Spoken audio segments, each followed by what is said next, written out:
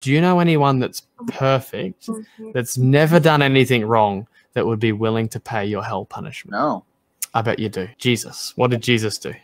Oh, that's yes, Jesus. He died for our sins. I spoke to a gang member a few weeks back now who said, I know that if I believe this, my gang could try and kill me. And I said, but is it worth it? And he said, Absolutely. Right. Because to emphasize that, like if someone came up to you and said, I'll give you $1 billion, you can take the money, do whatever you want with it. But the one condition of accepting the money, you have to go to hell. Would it be worth taking the money? Hell is an eternity, correct? Exactly. There is nothing in this world that's worth possessing that's worth going to hell for. The choice that sits before you, I can believe that Jesus paid for my sin, going to heaven for free because of what Jesus has done, but no, it will disrupt my life and the way that I currently live. Or I can keep living my own way and end up in hell for eternity, even though it's not worth it. I want a better understanding of this. So, if I believe Jesus takes my sins, Yep.